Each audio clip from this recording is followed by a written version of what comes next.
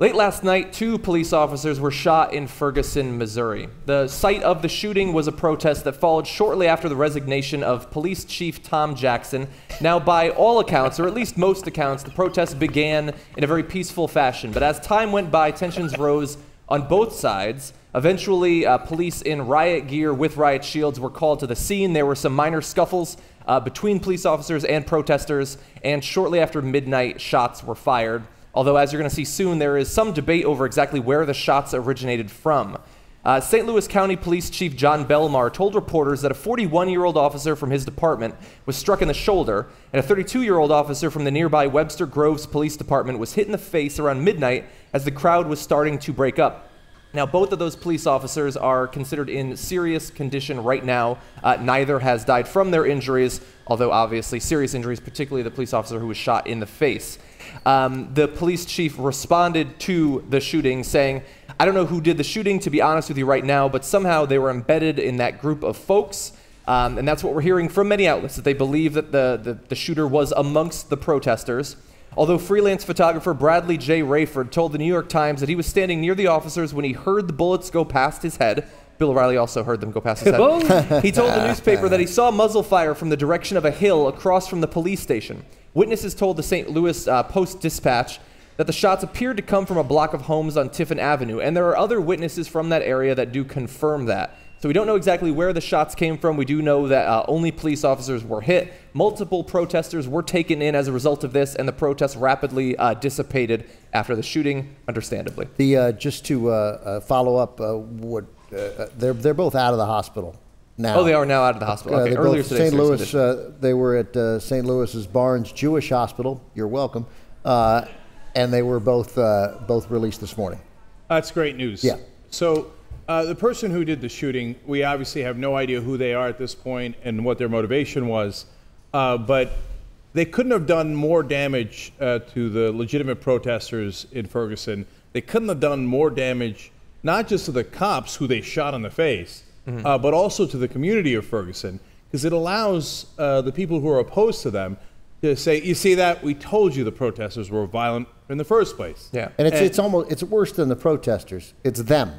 Mm-hmm. It's not even specifics. It's like, look, what are you complaining about? What are you people complaining about? What are you so angry about? You know, accusing the uh, this administration somehow, which is being held responsible for this, for setting back race relations, as we'll hear for decades from Fox. So it's worse than just saying the protesters. Yeah. It's grouping an entire group of people who are outraged by this, even if you didn't protest, into a group of a sort of uh, outraged malcontents who can never be pleased. Yeah. And, and, and, of course, there's the irony that uh, the right wing will always say if a cop does something uh, excessive, well, there's a few bad apples, right? Mm-hmm. But whenever it's the protesters, it's not, oh, there's a few bad apples or one bad apple with a gun, by the way.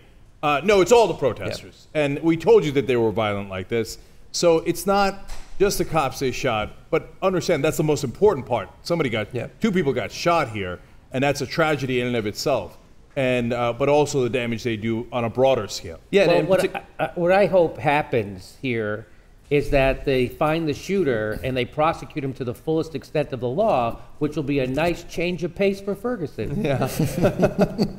uh, and also timing wise, like as you say, it's a tragedy regardless of when it happens. But timing wise, like we just had the Justice Department report uh, revealing uh, just a pattern of systematic abuses by police officers in Ferguson, but also the municipal court officials, uh, making life a living hell for people living in Ferguson, not just on one day in one protest, but over the course of people's entire lives.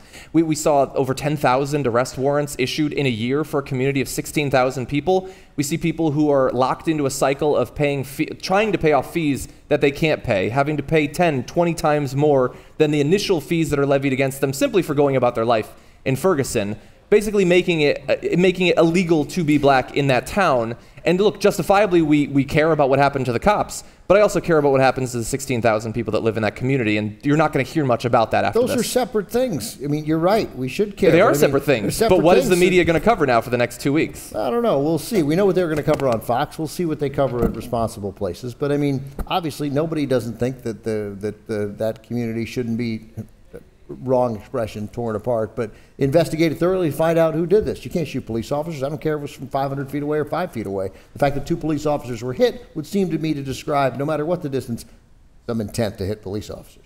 Um, or that is a master stroke of bad luck. So I think in all, in all likelihood, it's, it's, it's the former. And then separate from that is what we had was a, a report from the Justice Department that had no equivocation in it whatsoever.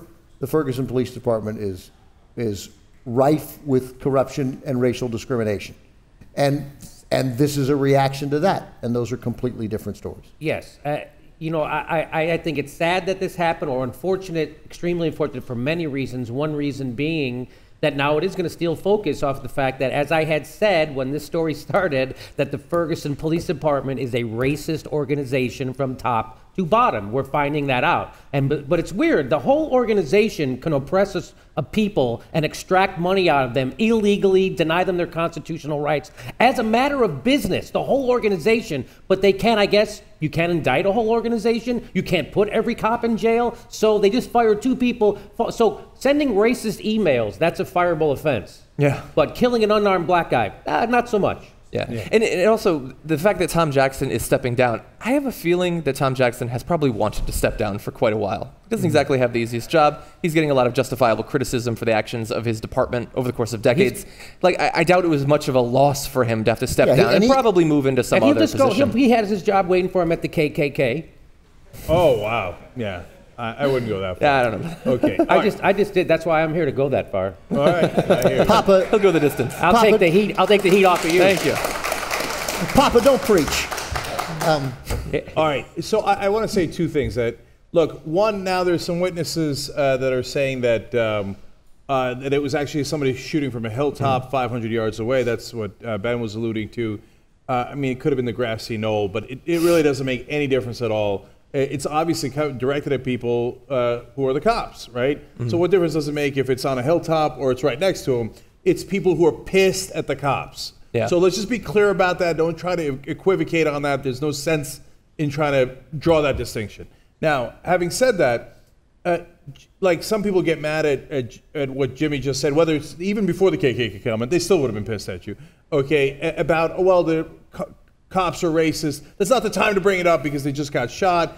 And but you have to understand something. Those two things are are, are both true. Like I, you can feel horrible for the guy who got shot in the face. We're progressives. We're anti-shooting, Yeah. right? We've got a well, uh, you know, tested record of being anti-war, anti-guns, anti-shooting, anti-violence, right? We're we're the guys in that camp. So it outrages us whenever anybody gets shot, whether it's a cop shooting a citizen or a citizen shooting a cop. We we hate that equally. Yeah. Okay, those guys that did that got shot they, they weren't the leader of the police department. They didn't set the culture. You almost always get the wrong guy. But remember, a lot of these guys are also working guys. They're union guys. So some of them might have done some things, but you don't know. You shot randomly. You don't know. And besides which, even if you thought they were the bad guys, you still don't shoot them. That's not what you do. Now, having said that, just because two cops got shot, which is a tragedy, doesn't mean that they haven't been racist for the last 20, 30 years.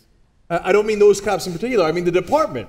The, the Justice Department findings are still true. They're still true today. They were true yesterday. And those stories of how they systematically oppressed the black community in Ferguson did not magically disappear overnight because some idiot shot two Yeah. cops.